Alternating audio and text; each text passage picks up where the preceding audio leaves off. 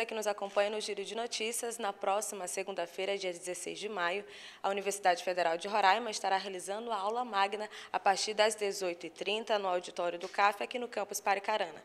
Sobre este assunto, eu converso com o vice-reitor da Universidade Federal de Roraima, o professor Américo Lira, que vai dar mais informações. Então, reitor, é, qual a importância dos alunos e da sociedade em geral estar participando da aula magna?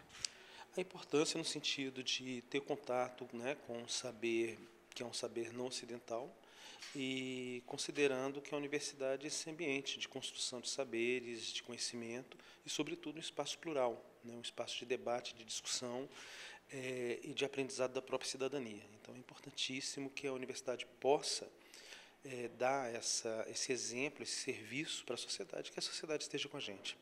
Obrigada pelas informações, reitor. Eu também converso com o professor Pablo Albernaz, que também é coordenador da aula magna, da equipe da aula magna. Então, professor, é, qual o tema que será discutido na aula magna? Quem será o palestrante?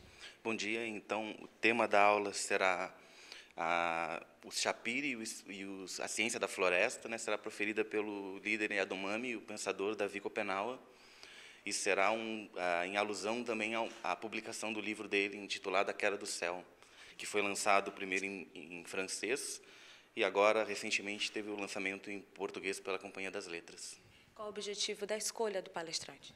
Bom, a, a, hoje em dia nós da antropologia, né, inclusive da filosofia também, percebemos a importância né, das, do pensamento dos povos não ocidentais hoje para a própria ciência, né, que por muito tempo ela, de algum modo, obliterou o conhecimento dos povos ditos não ocidentais. E hoje a antropologia, a ciência como um todo, vem incorporando esses saberes. Né? Então, esse, esse momento ele representa isso também. Tem como reforçar o convite para a população que esteja, que queira participar da aula magna, é, reforçar o local e a hora que será realizada a aula magna? Bom, a aula magna será realizada no dia 16 de maio, segunda-feira, às 18h30, no auditório do CAF. Obrigada pelas informações. Melissa Gomes para o Giro de Notícias.